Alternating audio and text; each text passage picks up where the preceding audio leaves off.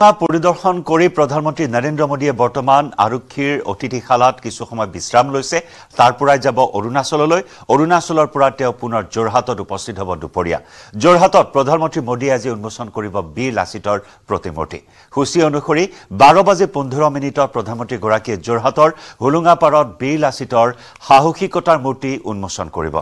অসমীয়াৰ শৌৰ্য বীৰ্যৰ প্ৰতীক বীৰ লাচিত বৰফুকনক প্ৰধানমন্ত্ৰীয়ে বিশ্ব দৰবাৰত প্ৰতিষ্ঠা কৰিব। যোৰহাটত মেলেং মেটেলি পথাৰত বিশাল জনসভাত অংশগ্ৰহণ কৰি প্ৰধানমন্ত্ৰীগৰাকীয়ে প্ৰায় ওঠৰ হাজাৰ কোটি টকাৰ প্ৰকল্পৰ শুভাৰম্ভণি বা আধাৰশিলা স্থাপন কৰিব। ৰাজ্য চৰকাৰে যোৰহাটৰ লাহদৈগড় হোলোঙাপাৰত নিৰ্মাণ কৰিছে অদম্য সাহস বিচক্ষণ বুদ্ধিমত্তা আৰু ত্যাগৰ প্ৰতীক জাতীয় বীৰ লাচিত বৰফুকনৰ সৰ্ববৃহৎ প্ৰতিমূৰ্তি। বিশ্বৰ জনপ্ৰিয় নেতাগৰাকীয়ে উন্মোচনে বিশ্বৰ দৰবাৰলৈ লৈ যাব অসমীয়াৰ গৌৰৱ লাচিত বৰফুকনক। আৰু ইয়াৰ লগে লগেই বিশ্ববাসীয়ে উৎসুকতাৰে বিশ্বসভাত সিঁচৰতি কৰিব প্ৰতিজন অসমীয়াৰ শিৰাই শিৰাই প্ৰবাহিত হৈ থকা জাতীয় বীৰগৰাকীৰ ত্যাগৰ কাহিনী। উল্লেখযোগ্য যে দুহেজাৰ বাইছ বৰ্ষৰ পোন্ধৰ ডিচেম্বৰত যোৰহাটত অনুষ্ঠিত হোৱা কেবিনেট বৈঠকত মুখ্যমন্ত্ৰী ডক্টৰ হিমন্ত বিশ্ব শৰ্মাই ডক্টৰ হিমন্ত বিশ্ব শৰ্মাৰ নেতৃত্বাধীন ৰাজ্য চৰকাৰে সমগ্ৰ যোৰহাট জিলাতে আঠশ সাতত্ৰিছ কোটি টকা ব্যয়েৰে ষোল্লটা বৃহৎ অভিলাষী প্ৰকল্প হাতত লৈছিল। ইয়াৰ ভিতৰত অন্যতম আছিল লাচিত বৰফুকন স্মাৰক আৰু সাংস্কৃতিক প্ৰকল্প। সেই অনুসৰি হোলোঙা পাৰস্থিত পূৰ্বৰ লাচিত বৰফুকন মৈদামৰ লগতে অধিগ্ৰহণ কৰা আঠচল্লিছ বিঘাত দুকঠা সোতৰ লেচা ভূমিত এশ ঊনপঞ্চাছ দশমিক আঠ দুই কোটি টকা ব্যয়েৰে নিৰ্মাণ কৰিবলগীয়া এই প্ৰকল্পৰ বাইছ বৰ্ষৰ পোন্ধৰ ডিচেম্বৰৰ দিনাই ভূমি পূজনেৰে শুভাৰম্ভ কৰিছিল মুখ্যমন্ত্ৰীয়ে। নিৰ্মাণৰ দায়িত্ব অৰ্পণ কৰিছিল আহ আহলুৱালিয়া নামৰ ঠিকাদাৰী প্ৰতিষ্ঠানক আৰু এবছৰ দুমাহ একৈছ দিনৰ অন্তত সৰ্ববৃহৎ প্ৰতিমূৰ্তি স্থাপনৰ কাম সম্পূৰ্ণ হৈ উঠে। ইপিনে এই প্ৰকল্পত সংস্থাপিত হৈছে এশ পঁচিছ ফুট উচ্চতাৰ জাতীয় বীৰজনাৰ প্ৰতিমূৰ্তি।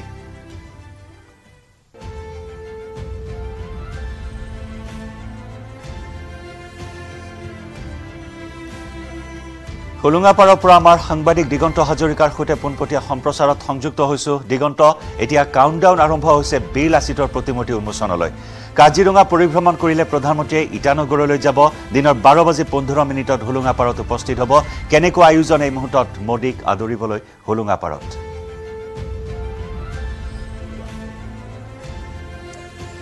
জয়ন্ত চাওক আপুনি বহুকেইটা গুৰুত্বপূৰ্ণ কথা উল্লেখ কৰিছে আজিৰ দিনটো অসমবাসীৰ কাৰণে ৰাজ্যবাসীৰ কাৰণে অত্যন্ত এটা গুৰুত্বপূৰ্ণ দিন হিচাপে বিবেচিত হ'ব। যিহেতু প্ৰধানমন্ত্ৰী নৰেন্দ্ৰ মোদীয়ে উন্মোচন কৰিব সৰ্ববৃহৎ অসমৰ সৰ্ববৃহৎ জাতীয় বীৰজনাৰ প্ৰতিমূৰ্তি। আৰু তাৰ লগে লগেই বিশ্ববাসীৰ মাজত সিঁচৰিত হ'ব। এই আচলতে ত্যাগ বিচক্ষণতা আৰু বিশেষ নেতৃত্বৰ প্ৰতীকস্বৰূপ লাচিত বৰফুকনৰ সকলো গুণ গৰিমা বিশ্ববাসীৰ মাজত সিঁচৰিত হ'ব। এই মুহূৰ্তত যদি কওঁ যে সাজু হৈছে সকলো সাজু হৈছে ইতিমধ্যে যিহেতু কৈছোঁৱেই যে বাৰ বাজি পাঁচ মিনিটৰ লগে লগেই প্ৰধানমন্ত্ৰী অৰুণাচলৰ ইটানগৰৰ পৰা আহি লাচিত মৈদামৰ যি আচলতে স্থায়ীভাৱে নিৰ্মাণ কৰা হৈছে তিনিখনকৈ হেলিপেড তাত তেওঁ অৱতৰণ কৰিব আৰু লগে লগে তেওঁক আদৰণি জনাবৰ বাবে যেনেধৰণৰ যিখিনি প্ৰস্তুতি ইতিমধ্যে কৰা হৈছে তাৰ সকলো ধৰণৰ ব্যৱস্থা ইতিমধ্যে সম্পন্ন হৈছে। আৰু মই কিছু এই মুহূৰ্ততে লাচিত বৰফুকন মৈদামৰ বাহিৰৰ মই গেট গেটৰ সন্মুখৰ কিছু দৃশ্য দেখুৱাইছোঁ। যিহেতু প্ৰধানমন্ত্ৰীগৰাকীক আঢ়ৈশগৰাকী পুৰোহিতৰ মন্ত্ৰোচ্চাৰণ হ'ব আৰু সেই মুহূৰ্তত আচলতে প্ৰধানমন্ত্ৰীয়ে জাতীয় বীৰজনাৰ প্ৰতিমূৰ্তি উন্মোচন কৰিব আৰু একেদৰে ইয়াতে এশগৰাকী মহিলাই একেলগে তাইৰ প্ৰাৰ্থনা পৰিৱেশন কৰিব সেই মুহূৰ্তত। আৰু সেই গোটেই আচলতে যিসকলে এই অনুষ্ঠানত অংশ ল'ব তেখেতসকল ইতিমধ্যে আহিছে আহি গেটৰ এই মুহূৰ্তত সকলো পাইছেহি। মই এই পৰিৱেশটো দেখুৱাইছোঁ আৰু কিছু কথাও জানিম যে তেওঁলোকৰ আজি কেনে কেনেকুৱা লাগিছে? মই অকণমান এগৰাকী মহিলা দেখিছোঁ। আজি প্ৰাৰ্থনাত অংশ ল'বলৈ আহিছে। হয় নমস্কাৰ। পোনপ্ৰথমে আমি নিজৰ এইখন আমাৰ নিজৰ ঠাই আচলতে হোলোঙাপাৰ গোহাঁইগাঁও। আমাৰ নিজৰ ঠাইত যিহেতু এই ইমান ডাঙৰ এটা অনুষ্ঠান আজি নৰেন্দ্ৰ মোদী ডাঙৰীয়াই আজি এই অনুষ্ঠানটো ইয়াত আমাৰ সুকলমে অনুষ্ঠিত কৰিবলৈ লৈছে। মানে যিটো লাচিত মৈদাম নিৰ্মী- নিৰ্মাণ কৰিছে তাৰ আজি শুভাৰম্ভণি কৰিব। খুবেই আনন্দিত হৈছোঁ। নিজৰ ঠাই নিজৰ ঠাই দেখি ইয়াত যিহেতু ইমান ডাঙৰ এটা অনুষ্ঠান কৰিছে তাৰ বাবে আমি গৌৰৱ অনুভ- অনুভৱ কৰিছোঁ। খুব আজি আনন্দিত হৈছোঁ। উৎফুল্লিত হৈছোঁ মানে। কিমান গৰাকী আপোনালোকৰ কিমান গৰাকী মহিলাই একেলগে প্ৰাৰ্থনা কৰিব আজি? আমাৰ এগৰাকী আছে। এ, বৰ্তমান এতিয়া তেওঁলোক উপস্থিত হোৱা নাই যদিও আহিব আৰু আমি আহিছোঁ। মই অকণমান আৰু যিহেতু যথেষ্ট মই আপোনাৰ ওচৰলৈ আহিছো। কেনেকুৱা লাগিছে?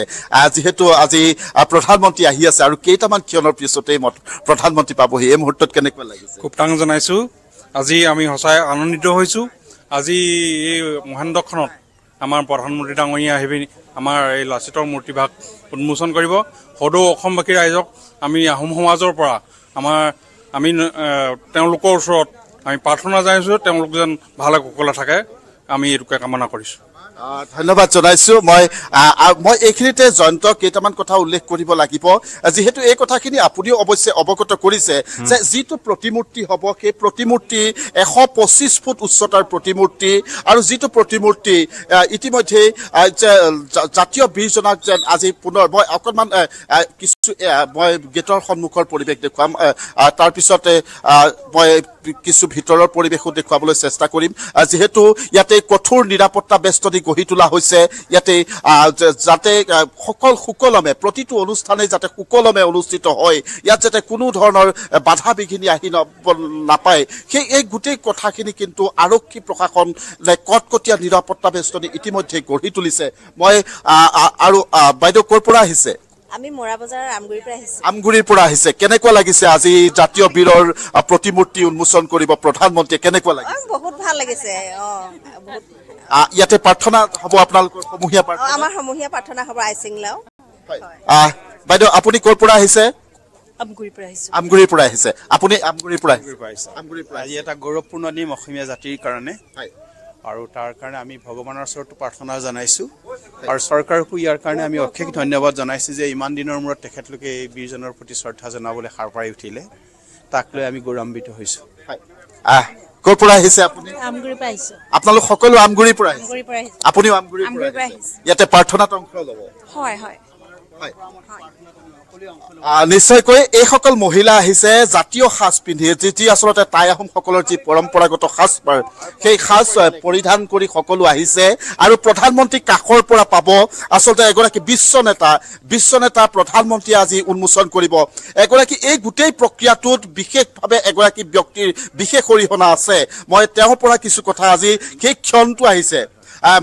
লাচিত মৈদাম সংৰক্ষণ সমিতিৰ সম্পাদক আছে যে সেই মহেন্দ্ৰ ক্ষণ আহি পাইছে। ইতিমধ্যে মোদীময় পৰিৱেশ হৈ পৰিছে গোটেই যোৰহাট মোদীময় হৈ পৰিছে। কেনেকুৱা অনুভৱ হৈছে এই মুহূৰ্তত? ভাষাৰে বহু কষ্ট কৰিছে ধন্যবাদ। এইটো ভাষাৰে বৰ্ণনা কৰিব নোৱাৰি। আমাৰ অপেক্ষাৰ সময়টো আৰু এঘণ্টামানৰ পিছতে আমি পাম- আমি বহুত ধীৰ অপেক্ষাৰে আমি বাট চাই আছোঁ সেই নিৰ্দিষ্ট সময়টোলৈ। ভাৰতৰ প্ৰধানমন্ত্ৰীগৰাকীয়ে আহি আমাৰ লাচিত বৰফুকনৰ মৈদামত তৰ্পণ কৰিব। তাৰ লগে লগে তেখেতে প্ৰতিমূৰ্তি উন্মোচন কৰিব। এই গোটেই ব্যৱস্থাটোৰ লগত জড়িত আমাৰ মাননীয় অসমৰ মুখ্যমন্ত্ৰী ডাঙৰীয়াক আমি এই সব সময়তে ধন্যবাদ জনাইছোঁ।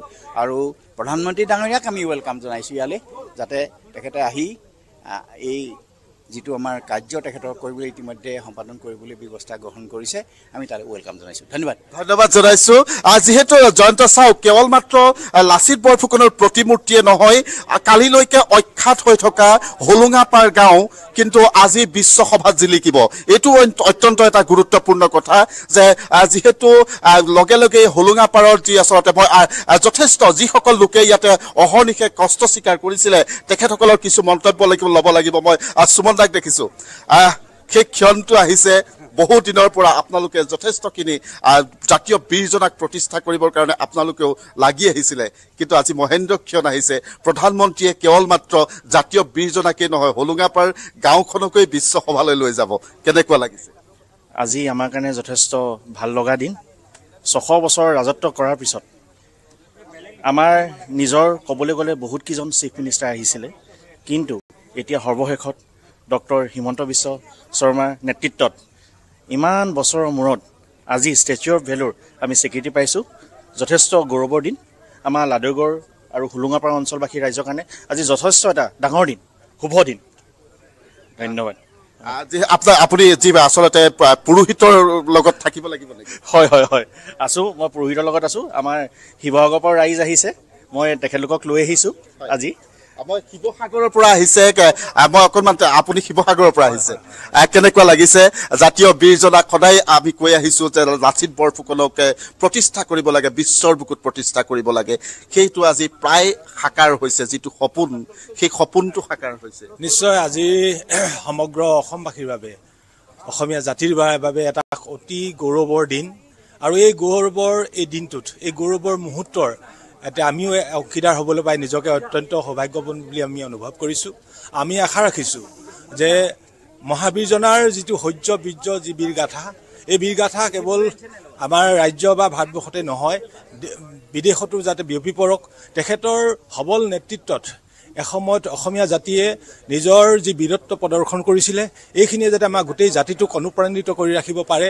তাৰ বাবে আজি এই দিনটোত আমি সমূহ অসমবাসীলৈ আমি আন্তৰিক অভিনন্দন জনাইছোঁ আৰু লগতে আমি আশা কৰিছোঁ যে আমাৰ এই বীৰজনাই আৰু অসমীয়া জাতিটোক যি উজ্জীৱিত কৰি আছে এই উজ্জীৱিত কৰাৰ জৰিয়তে আমি আমাৰ জাতিটোক যাতে আৰু আগুৱাই লৈ যাব পাৰে তাৰ বাবে আমি এইখিনি আজিৰ তাৰিখত নিশ্চয় খুব আন্তৰিকতাৰে অনুভৱ কৰিছোঁ।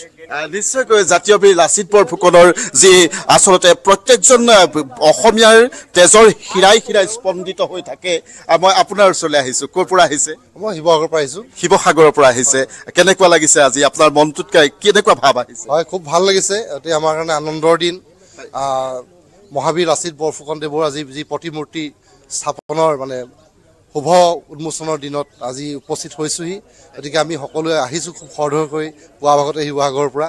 গতিকে উলহ মালহ পৰিৱেশ সকলো ফালে গতিকে মুদিময় পৰিৱেশ হৈ আছে। মুদিময় পৰিৱেশ হৈ আছে।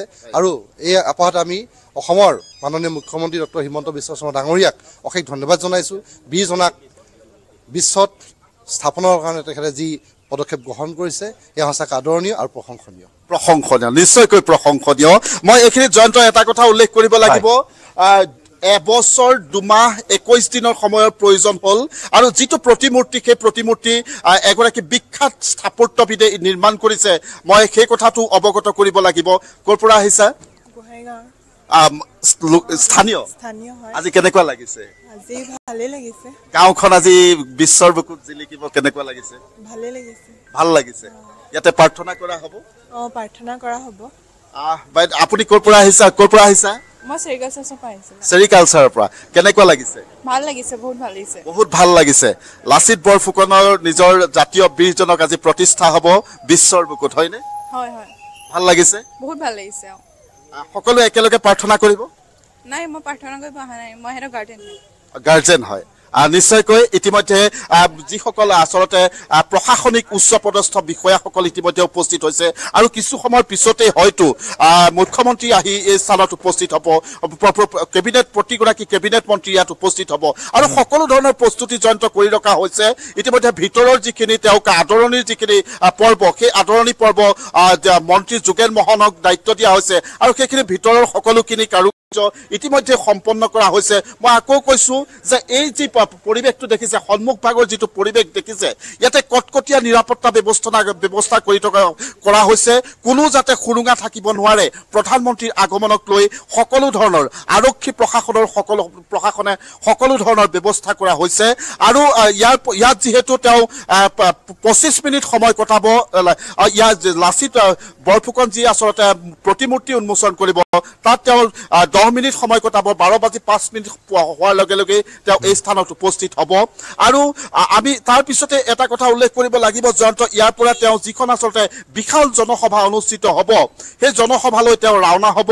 আৰু তাতে তেওঁ প্ৰায় এক লাখ পঁয়ষষ্ঠি হাজাৰ লোকৰ কাৰণে বিশেষ আসনৰ ব্যৱস্থা কৰা হৈছে আৰু দুই লাখ লোকৰ সমাগমৰ হোৱাৰ ধাৰণা কৰা হৈছে। আৰু দুই লাখ লোকক প্ৰধানমন্ত্ৰীয়ে সম্বোধন কৰিব। ওঠৰ হাজাৰ কোটি টকাৰ যি আচলতে বিশাল পেকেজ লৈ আহিছে প্ৰধানমন্ত্ৰীগৰাকীয়ে। আৰু ইতিমধ্যে তাৰ পৰাই তেওঁ ভাৰ্চুৱেলি শিৱসাগৰৰ যি আচলতে প্ৰস্তাৱিত শিৱসাগৰ চিকিৎসা মহাবিদ্যালয় আৰু তেওঁ আধাৰশিলা স্থাপন কৰিব আৰু লগে লগে তিনিচুকীয়াৰ চিকিৎসা মহাবিদ্যালয় তেওঁ উদ্বোধন কৰিব। বা আৰু পাঁচ লাখ পঁচপন্ন হাজাৰ পাঁচশ পঁচপন্নটা যি আচলতে প্ৰধানমন্ত্ৰীৰ আৱাস গৃহ সেই আ- আৱাস গৃহৰ আজি গৃহ প্ৰৱেশৰ শুভাৰম্ভ কৰিব। এনে বহু কাৰ্যসূচী লৈ যিহেতু প্ৰধানমন্ত্ৰী আহিছে আৰু তাক লৈ সকলো উৎকণ্ঠাৰে সেই যি ক্ষণ আহিব সেই ক্ষণৰ কাৰণে উৎকণ্ঠাৰে অধীৰ উৎকণ্ঠাৰে বাট চাই আছে।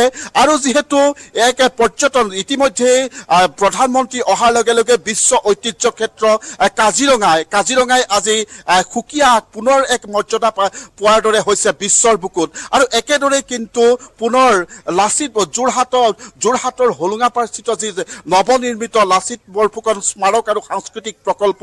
এই প্ৰকল্পৰ আজি প্ৰধানমন্ত্ৰীয়ে উন্মোচন কৰাৰ লগে লগে প্ৰতিমূৰ্তি উন্মোচন কৰাৰ লগে লগেই অসমত আকৌ সংযোজন ঘটিব।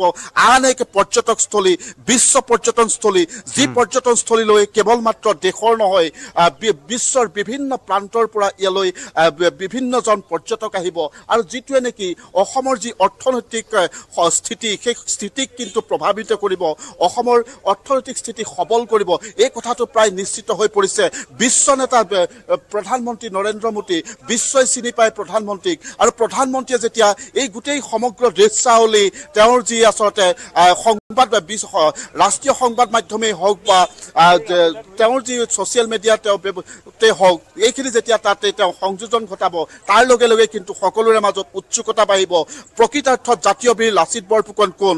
লাচিত বৰফুকনে কেনেধৰণে ত্যাগ স্বীকাৰ কৰিছিল? লাচিত বৰফুকনে কেনেধৰণে মোগলক পৰাস্ত কৰিছিল? এই গোটেই কথাখিনি কিন্তু জানিবলৈ সকলোৰে মাজত উৎসুকতা বৃদ্ধি পাব। আৰু লগে লগে কিন্তু জাতীয় বীৰজনাই যেন আজি নকৈ স্বীকৃতি লাভ কৰিব এই কথাটো স্পষ্ট।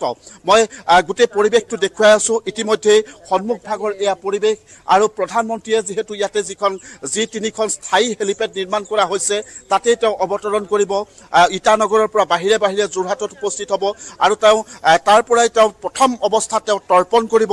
তৰ্পণৰ সময়তে তাত দহগৰাকী পুৰোহিত থাকিব দহগৰাকী পুৰোহিতে মন্ত্ৰোচ্চাৰণ কৰিব আৰু তেওঁ তাত মাত্ৰ তেওঁ সেই সময়কণতে তেওঁ আহ, তাৰ পিছত তেওঁক মৃদংগৰে মৃদংগৰ তালে তালে যি আচলতে ন নৱনিৰ্মিত প্ৰতিমূৰ্তি সেই প্ৰতিমূৰ্তিলৈ আগবঢ়াই লৈ যোৱা হ'ব। সেই মুহূৰ্তত এশগৰাকী মহিলাই একেলগে আইচিংলাও গাব তেওঁ পৰিৱেশন কৰিব যি টাই আহোমৰ যি প্ৰাৰ্থনা সেই প্ৰাৰ্থনা পৰিৱেশন কৰিব আৰু তেওঁ উন্মোচন কৰিব সেই মহেন্দ্ৰ ক্ষণতে উন্মোচন কৰিব। জাতীয় বীৰ লাচিত বৰফুকনৰ প্ৰতিমূৰ্তি। এই পৰিৱেশটো চাওক সকলোৱে জাতীয় সাজ পৰিধান কৰি এইসকল পুৰোহিত ইতিমধ্যে এই স্থানত উপস্থিত হৈছে গেটৰ সন্মুখত উপস্থিত হৈছে। কিন্তু যি আচলতে কিছু নিৰাপত্তাজনিত কথা আছে আৰু সেইকাৰণে তেওঁলোকক তন্ন তন্নকৈ পৰীক্ষা কৰা হৈছে ভিতৰলৈ কোনো সামগ্ৰী লৈ যাব ইয়াতে যিহেতু স্পেচিয়েল প্ৰটেকশ্যন গ্ৰুপ ইতিমধ্যে ইয়াত উপস্থিত হৈছে আজি চাৰিদিন পূৰ্বেই আহিছে। আৰু। তেওঁলোকে কটকটীয়া এক কোনো সুৰুঙা নথকাকৈ নিশ্চিত নিৰাপত্তা গঢ়ি তুলিছে আৰু সেই সেই লৈ সকলোকে ইয়াতে তন্ন তন্নকৈ পৰীক্ষা কৰি ভিতৰলৈ সোমাবলৈ দিয়া হৈছে। আৰু লগে লগেই আৰু ভিতৰৰ যিটো পৰিৱেশ সেই পৰিৱেশটো আমি এই মুহূৰ্তত দেখুৱাব এক সন্মুখৰ একেবাৰে প্ৰতিমূৰ্তিৰ সন্মুখলৈ আমাক যোৱাত কিছু বাধা আৰোপ কৰা আছে কেৱল মাত্ৰ নিৰাপত্তাজনিত কথাৰ কাৰণেই। আৰু আমি এটা। কথা জয়ন্ত মহা আড়ম্বৰপূৰ্ণভাৱে প্ৰস্তুতি পাৰোঁ, তুংগত বৰ্তমান। দিগন্ত আপুনি সাৱলীলভাৱে গোটেইখিনি কথা জনালে আমাৰ দৰ্শকসকলক আৰু এক উৎসৱমুখৰ পৰিৱেশে বিৰাজ কৰিছে। আপুনি কোৱাৰ দৰেই মহাবীৰ লাচিত বৰফুকনক স্বীকৃতি প্ৰদান কৰা হ'ব আজি এক অনন্য ৰূপত। আৰু আচলতে লাচিত বৰফুকনৰ যি বীৰত্বৰ কথা বীৰত্বৰ গাথা সেয়া মান্যতা লাভ কৰিব আজিৰ এই বিশেষ দিনটোত এক ঐতিহাসিক ক্ষণৰ সাক্ষী হ'ব সমগ্ৰ ৰাজ্যবাসী।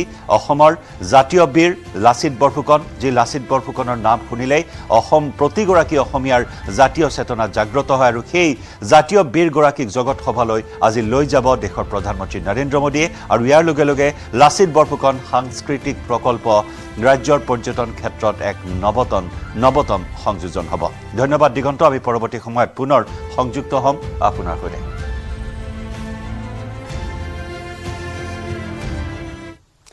সময় হ'ল এতিয়াৰ বাতৰিৰ পৰা বিদায় লোৱাৰ। খন্তেক বিৰতিৰ পিছতে লৈ আহিম লাইভ আৱাৰ। নমস্কাৰ।